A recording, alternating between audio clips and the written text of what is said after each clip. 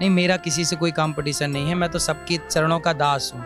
जितने भी कथावाचक हैं, मैं सबके पाँव की धूल हूँ और सभी, सबसे मैं छोटा हूँ।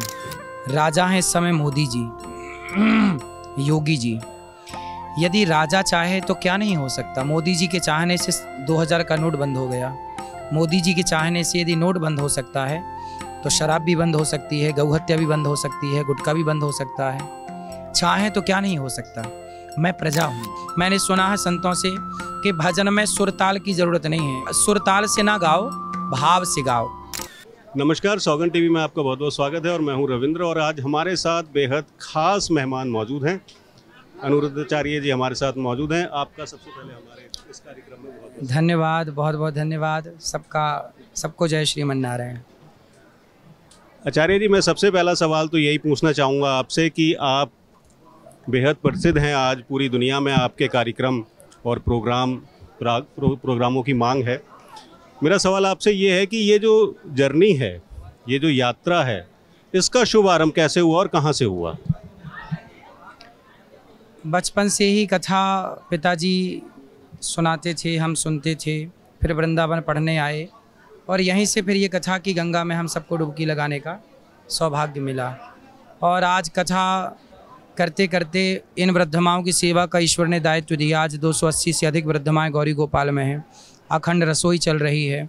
ये सभी सेवाओं की ज़िम्मेदारी मिल गई और कथा के संग संग ये सारी सेवाएँ आप बिहारी जी स्वीकार कर रहे हैं। आप ये जो वृद्धाओं के लिए जो आश्रम बना रहे हैं ये बहुत बड़ी ज़िम्मेदारी है। तो इसके लिए फंड मैनेजमेंट कैसे हो रहा है? ये भक्त लोग सही देखिए सब खड़े हैं आपके सामने भक्त लोग। ये लोग सहयोग करते हैं। कोई दस रुपये देता है तो कोई सौ रुपये देता है तो कोई हज़ार रुपये देता है। कोई बहुत बड़ा डोनर नहीं हो उद्योगपति नहीं है कोई यहाँ। ये तो सब भक्त का थोड़ा थोड़ा सहयोग से ये सब कार्य चल रहा है। आचार्य जी इसमें मैं एक सवाल और करना चाहूँगा कि एक नियम है संतों के साथ खास तौर पर कि उनके साथ जब वो प्रसिद्धि हासिल कर लेते हैं तो उनके साथ बड़े बड़े नाम बड़े बड़े उद्योगपति जुड़ जाते हैं। ऐसा होता है क्या या आपके साथ ऐसा होने वाला है या हो रहा है? देखिए कौन जुड़ रहा है तो भगवान जाने। लेकिन अभी तक तो ये सब भक्त ही हैं, आप जैसे भक्त हैं। और सब लोग सहयोग करते हैं, सबके सहयोग से ही यहाँ की सारी सेवाएँ चल रही हैं। यहाँ पे कोई ऐसा बहुत बड़ा नहीं है कि जो कोई बहुत बड़ा उद्योगपति हो। आप सबके सहयोग से ही यहाँ सब चल रहा है। कोई बहुत बड़ा नहीं है, क्योंकि कोई बहुत बड़ा नाम मैं अभी कैसे, कोई है ही नहीं तो कैसे लूँ? अच्छा एक बात बताइए, मुझे ये जो आप सुबह से लेकर शाम तक मैं आज सुबह से ही वृंदावन में हूँ। मैंने सुबह भी आपकी कथा सुनी, देखा आपको, हृदय की बात आपने कही। मुझे याद है कि हृदय को लेकर के बड़ी सुंदर विवेचना आपने की और आप गाते भी बड़ा सुंदर है। ऐसा अद्भुत गायन मैंने वर्षों के बाद सुना, हालाँकि गायक तो गाते ही हैं। आपने कहीं गायकी की शिक्षा ली है? सच सच बताइएगा। नहीं, गायकी की शिक्षा प्रॉपर तो कहीं रागों का ज्ञान नहीं किया मैंने। लेकिन अभ्यास, भगवान की कृपा से भागवत जी के बीच में जो हमारी संगीत की टीम थी, उन्हीं के संग बैठ के हम लोग अभ्यास करते रहते थे। और उन्हीं के बीच में मुझे जो भगवान का दिया प्रसाद है, वही है। संगीत सीखा नहीं है बहुत अच्छे से। कोई ऐसे गुरु नहीं थे। बचपन में अयोध्या जी में एक गुरु जी थे तो मैं कुछ दिन गया वहाँ। उन्होंने एक राग सिखाई मुझे, पर वो पूरी मैं नहीं सीख पाया, क्योंकि फिर मैं आना पड़ा मुझे किसी कारणवश। तो बहुत ज़्यादा रागों का मुझे ज्ञान नहीं है।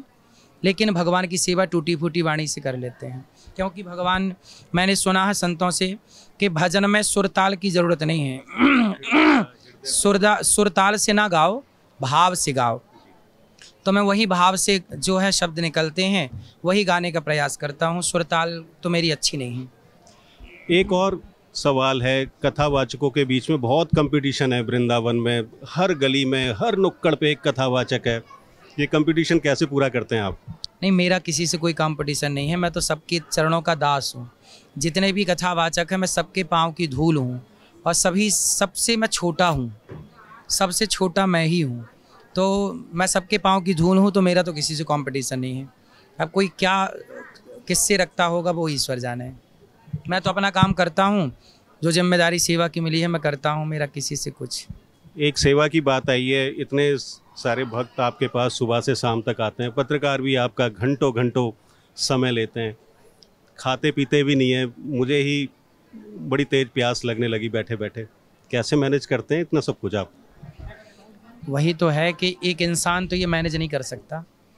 ये सारा मैनेजमेंट भगवान कर रहे हैं। उन्होंने हमें और आपको निमित्त बना रखा है। जैसे हनुमान जी लंका गए तो हनुमान जी कोई अपने से लंका थोड़ी चले गए? हनुमान जी के बारे में लिखा है कि प्रभु मुद्रिका मेली मुख माही, जलधि लांघ गए अचरज नाही।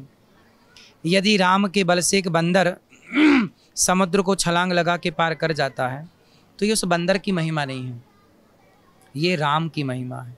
ऐसे यदि यहाँ गौरी गोपाल में कुछ हो रहा है, सेवा का कार्य, उसका मैं नहीं भगवान कर रहे हैं और वो शक्ति दे रहे हैं, वरना किसी इंसान के बस का कोई भी कार्य नहीं है जो यहाँ आप देख रहे हैं।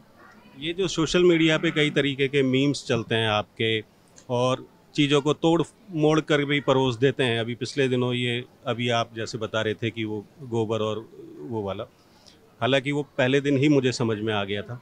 तो कभी गुस्सा आता है कि ये सोशल मीडिया कुछ गड़बड़ करता है मेरे साथ, या अच्छा लगता है कि हाँ चलो कुछ तो चल रहा है? नहीं नहीं, गुस्सा नहीं आता। लोगों पे, गुस्सा नहीं आता, लोगों पे हँसी इसलिए आती है कि देखो, ये अधूरे हैं। अधूरी बात सुन रहे हैं। पूरी बात नहीं, आज का यूथ, आज के लोग क्या है? ये अधूरी बातें सुनते हैं। वीडियो होती है दो मिनट की। भाई, कोई बात यदि मैं कह रहा हूँ तो उसे समझाने में वक्त तो लगेगा। अब आपने केवल दस सेकेंड निकाले तो दस सेकेंड में थोड़ी सार तक पहुँचेंगे। और जो सार तक नहीं पहुँचा तो आप निष्कर्ष तक जब पहुँचे नहीं तो फिर बोलना क्या है? सनातन की जो, सनातन का जो रास्ता है, आचार्य जी, बड़ा कठिन है। और मौजूदा दौर में जब युवा भटका हुआ भी महसूस होता है, और ये हर युग में होता है। हमारे पिताजी भी बोलते थे कि युवा भटका हुआ है। उनके पिताजी भी शायद बोलते हो कि युवा भटका हुआ है। आप इतना बड़ा काम कर रहे हैं, युवाओं को समझाने का प्रयास कर रहे हैं। लेकिन ताजुब तब होता है जब मथुरा और वृंदावन में ही आश्रम से सौ फलांग की दूरी पर शराब की दुकानें होती हैं। अब तो आप में इतनी ताकत भी है। रुक क्यों नहीं जाती है सब शराब की दुकानें? और गुटखा क्यों बंद नहीं हो जाता इधर? देखिए, मेरी ताकत से नहीं होगा। सबसे बड़ी ताकत होती है राजा की। राजा हैं इस समय मोदी जी, योगी जी। यदि राजा चाहे तो क्या नहीं हो सकता? मोदी जी के चाहने से 2000 का नोट बंद हो गया। मोदी जी के चाहने से यदि नोट बंद हो सकता है तो शराब भी बंद हो सकती है गौहत्या भी बंद हो सकती है, गुटखा भी बंद हो सकता है। चाहे तो क्या नहीं हो सकता? मैं प्रजा हूँ। मैं प्रजा हूँ, आप प्रजा हैं। हम और आप केवल आवाज़ लगा सकते हैं। क्योंकि आज सरकारी शराब बिक रही है तो वो तो कह देंगे कि देखो हमारे पास तो लाइसेंस है बेचने का। तो हम क्या करेंगे? कानून तो उनका साथ देगा। तो ये तो राजा बंद करेगा। प्रजा बोल सकती है, आवाज़ उठा सकती है। हमारे और आपके हाथ में अधिकार नहीं है ना पावर नहीं है। पावर होता तो मैं घंटे भर के अंदर पूरे देश से शराब बाहर करा देता। आप देख रहे हैं सौगंध टीवी। सौगंध। वतन की।